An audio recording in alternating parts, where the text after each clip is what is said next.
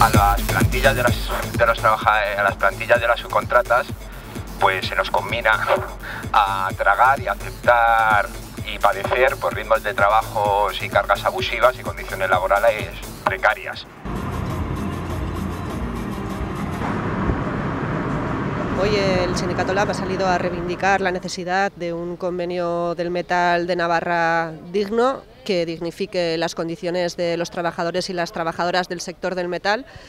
Y para ello, pues bueno, estamos realizando una, caravana de coches eh, en la que hemos planteado cuatro, cuatro paradas, cuatro paradas que vienen a recoger eh, lo que hemos venido defendiendo desde que se configuró la mesa del metal en, en diciembre en nuestra plataforma.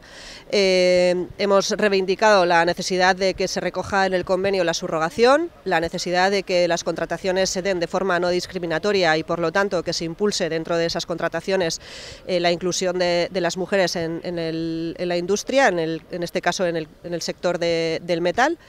Eh, la necesidad de que se reparta el trabajo y la riqueza y por lo tanto que la jornada laboral sea de 35 horas semanales y por último aquí en BSH eh, reivindicamos que la necesidad de que la negociación colectiva eh, se quede aquí en Nafarroa y por lo tanto que paren eh, los procesos de estatalización.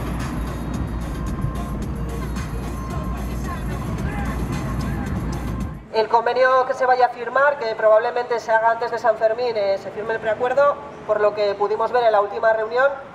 para nada va a garantizar que las trabajadoras y trabajadores del metal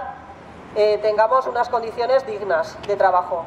Por lo tanto, lo único que nos queda, más allá de mesas de negociación, es pelear en las empresas y pelear en la calle para, para recuperar todos los derechos que hemos ido perdiendo